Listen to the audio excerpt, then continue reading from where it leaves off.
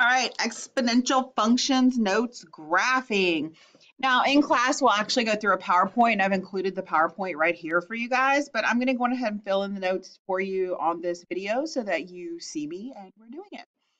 All right, so we've already talked about an exponential function, we've written an equation, we've interpreted what it all means. So now we're gonna do the graphs because you know how important the graphs are, okay?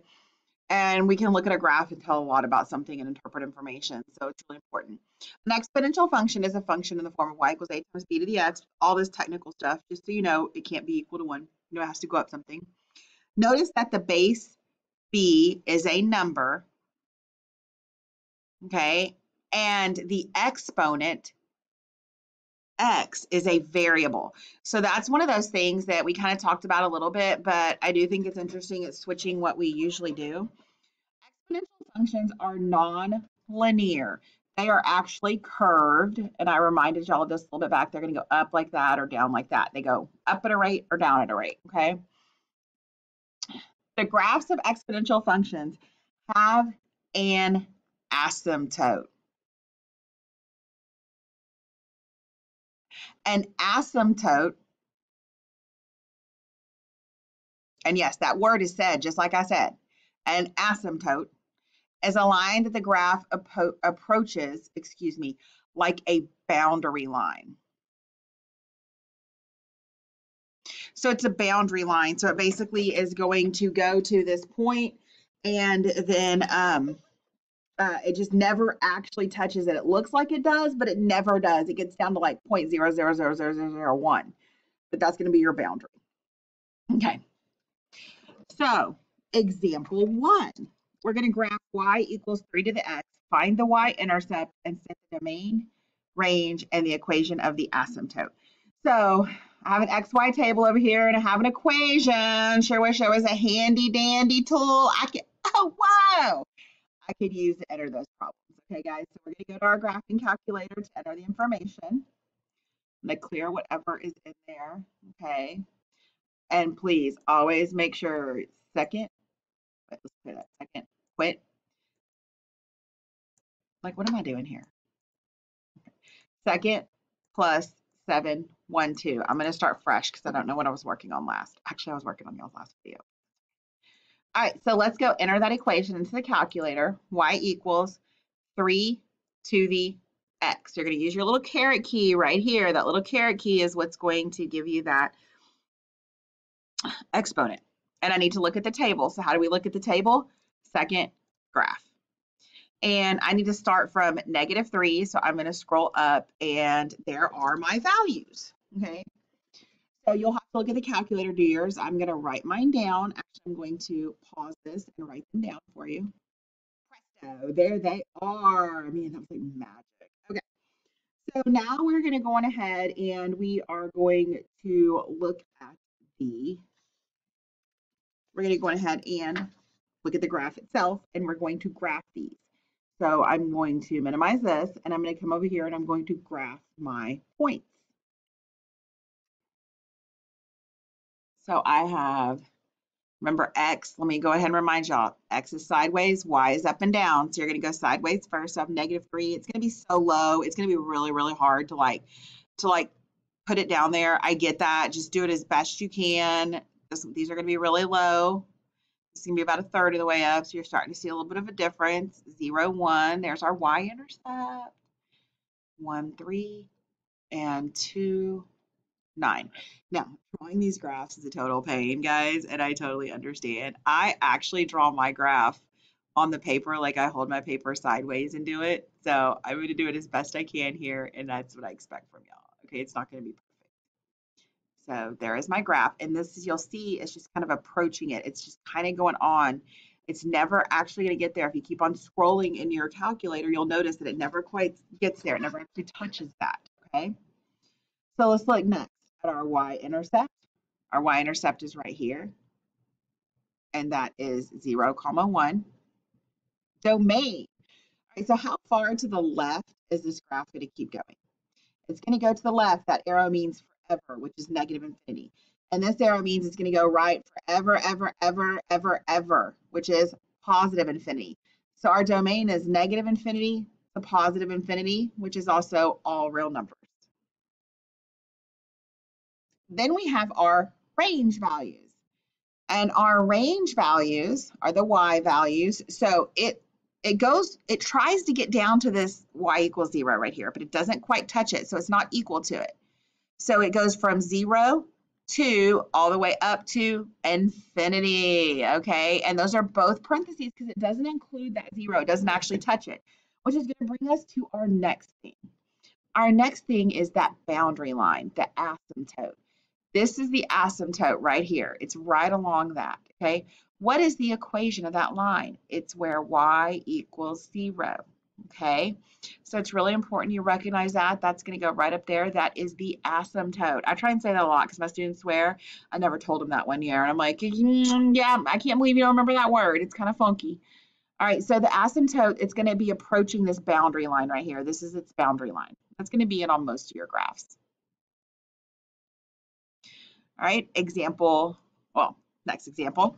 Functions of the form y equals a times b to the x. Now, we've discussed this a lot. Where b is greater than 1 or exponential growth, right? And where b is between, so let's, let's start with this real quick. Let's remind ourselves. Where b is greater than 1 is a growth, right?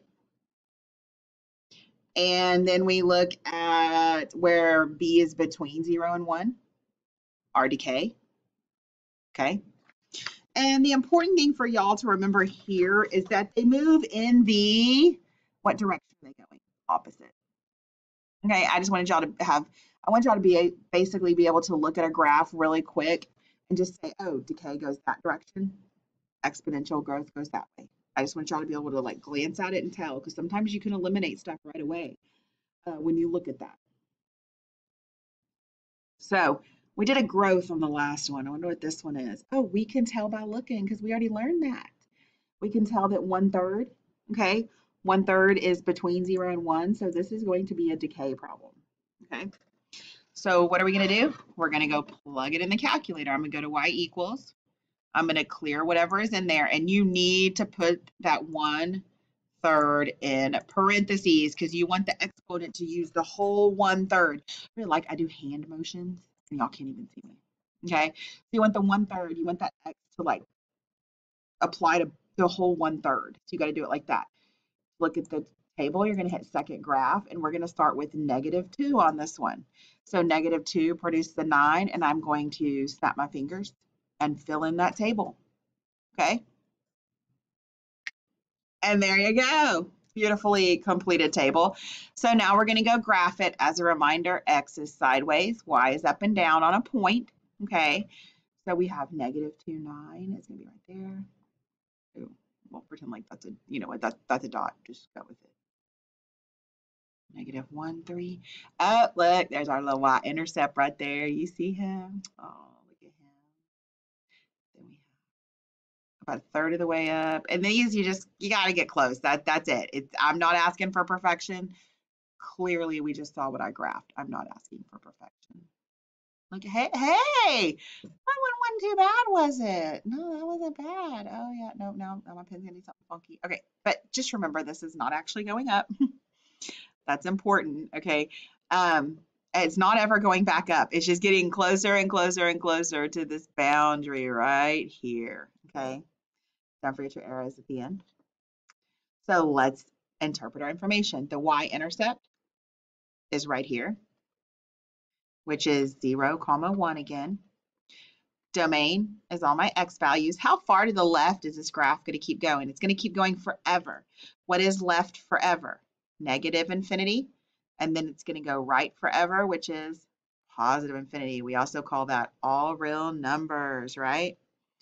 The range my y values. So it approaches this zero right here.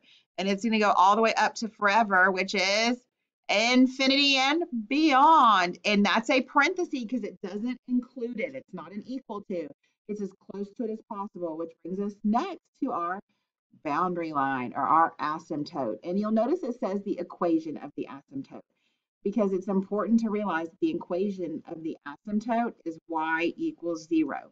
So right here, it's a straight horizontal line on the x-axis, and that's where y equals zero.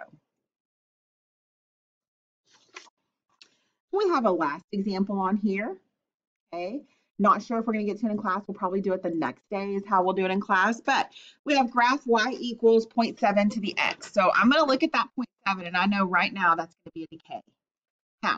How do I know that's going to be a decay? Because that 0.7 is between 0 and 1. It's between it. Okay. So I need to graph it. So I'm going to go to my handy dandy calculator. Pull that little calc up.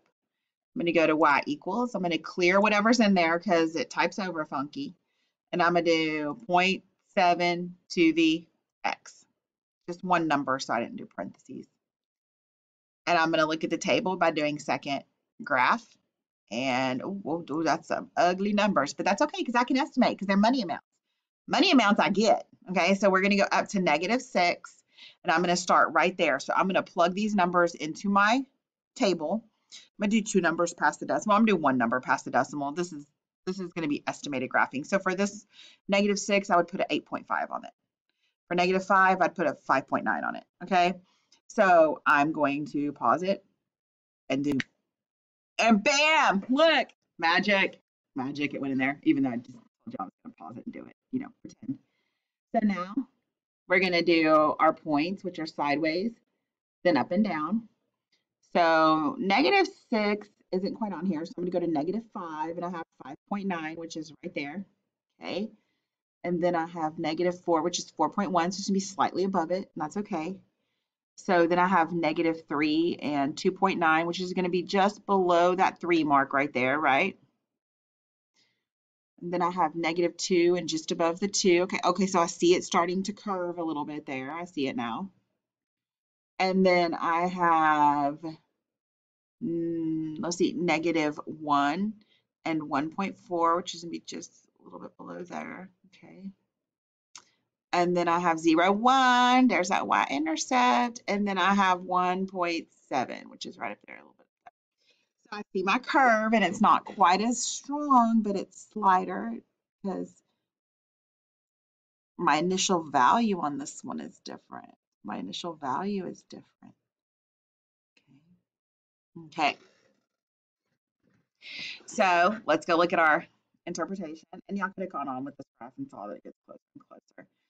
So my y-intercept is 0, comma 1. My domain is all my x values. And again, it goes from negative infinity to infinity and beyond. Okay, just like our parabolas. Okay. Range is the y value. So it approaches that 0 again. So it's going to be from 0 to infinity and beyond. And then my asymptote, again, it gets closer and closer to that boundary right there.